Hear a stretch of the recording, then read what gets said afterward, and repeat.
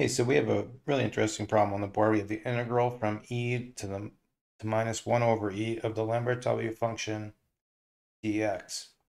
It'd be interesting while I'm working on Lambert W function problems and integrals to get both integrals and Lambert W into one problem. So here we go. The problem I see is what are we going to do with this piece? So I think the standard route here would be to go straight to integration by parts. But I think actually what I want to do is try a u substitution. I think this is going to work out nice. So I'm just so I'm just going to make my u equal wx. What that's going to allow me to do is I can kind of use this formula in reverse. If we have a u, we can actually rewrite this as w u e to the u, right? Just noticing if we use that formula the other way, we get back our u. But then if w u to the e to the u is equal to, if, if this is equal to this, then we can equate what's inside. And we're going to have this thing that we can deal with more nicely. u e to the u equals x. So that's going to be helpful for us right there. So let's box that for a second.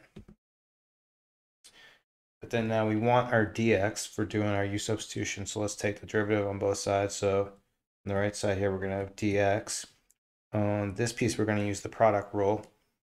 So I'll take the derivative of u, which is 1 times e to the u, plus u, derivative of e to the u is just e to the u. And so our dx is going to be, let's write our dx. I'm just going to factor out the eu for now.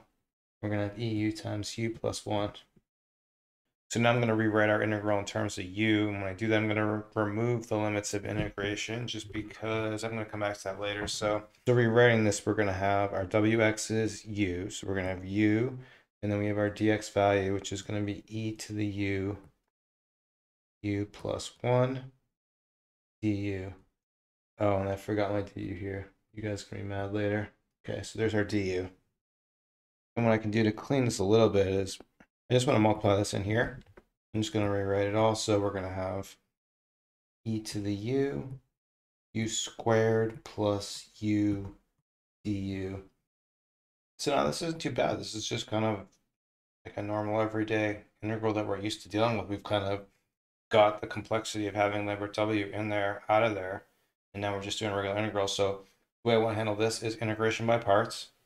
So let's do that. I'm going to move the screen a little bit. Hold on a second. Just you guys stay where you are for a sec. Okay, hopefully no one left. So we're going to do integration by parts on this.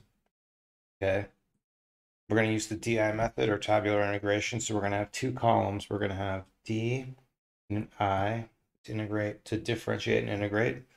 And so what I want to do is I want to use my polynomial to differentiate. Because if you differentiate a polynomial, it always reduces and eventually reduces to zero. So let's do that. We're going to have our plus u squared plus u. And to integrate, we'll do our EU. This will do plus, minus, plus. I'm not sure how many rows we need. And then you'll see differentiating this. Okay, so this is really easy. We're going to have 2u plus 1. Derivative of this is going to be just 2. And derivative of this is going to be 0. And that's exactly what we want because we know it's going to terminate. So then we integrate We'll have e to the u, e to the u, e to the u. And then our answer is just going to be these diagonals. We don't have to worry about this last row because we have a zero here. So this integral of zero is zero and we don't, we don't care about that. So then we can just kind of take this and write our answer. Let's do this real quick. And you know what I'm going to do? Since we have an EU in each row, I'm just going to factor that out and not really worry about it for the second. So we'll have e to the u on the outside. And then we'll have u squared plus u. To have a minus on this row, so minus 2u. Distributing in the minus sign, minus 1 plus 2. And let's just rewrite that as we get some terms that we can clean up here. Now, if you remember, this is our original substitution for x. Okay, so that's going to be easy. And then you'll notice what we can do is we can break this up. So let's rewrite this. We're going to write this as u times u eu, so we get another x here. And this one we already determined is x. And this one we're going to deal with later. Well, actually, we'll deal with it now. How about that? So So from here, we can get everything back in terms of x because we know what that is. We know our u. So this u is going to be w of x. So we're going to have w of x. This is just an x minus x. And then e to u is plus e to the w of x. Okay, good. So we've got our expression in terms of x. Now, now we can deal with our limits of integration, which is just we're going to be evaluating this from e to the minus 1 over e. You may notice this wasn't a coincidence that I chose those values, right? Because I chose them because they're going to be easy for me to calculate and I'm not going to have to do too much work later. So that's great. So let's evaluate this, but let's see what's so special about the these two values of e and minus 1 over e. So first, let's, let's just look at the Lambert W of e. We can actually rewrite this. We can be very explicit and write our exponent of 1, sorry, our coefficient of 1 and our exponent of 1. And then using our favorite formula, right, we have the same exponent and coefficient. So then this is actually just going to be the same thing as 1. And then we can do something similar with, with this value. This is a really special value because, well, let's see why it's a special value. okay, so let's look at this guy. So let's look at the Lambert W of minus 1 over E. So Lambert W minus 1 over E. Again, we can rewrite this. We want to we want to rewrite it so we can use our favorite formula like that, like what we did previously. So let's write it as minus 1 e to the negative 1, right? Just moving it to the numerator. And then we're in our format, we have the same coefficient in numerator.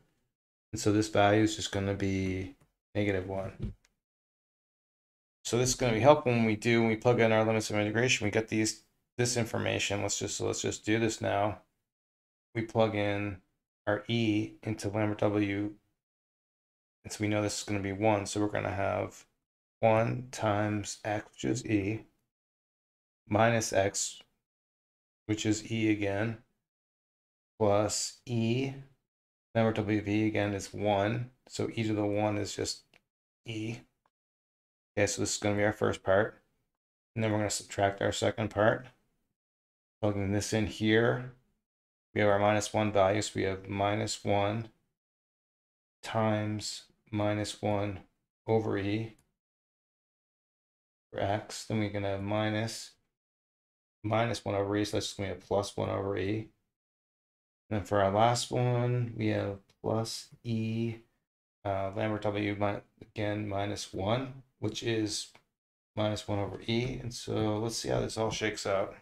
So simplifying e minus e, this is 0, but we still have this e, so we're going to have e. Um, and let's simplify what's in this parenthesis. So here a minus times a minus is a plus. And then actually this is just, if we rewrite this, it's just another 1 over e. So we actually have three of these things adding it. So that's actually going to be 3 over e.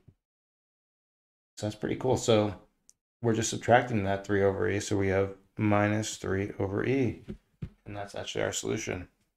And so for this, you don't need any um, you don't need any fancy calculations. You can just use your calculator our solution is going to be, if you want, just want the exact solution, e minus 3 over e or 1.61484. Stopping there, got this problem from my quiz, Lambert W function. It's got it's got more of the odd problems, the, the integrals and derivatives and stuff. So if you want to do some more practice, please check that out. Thanks for watching.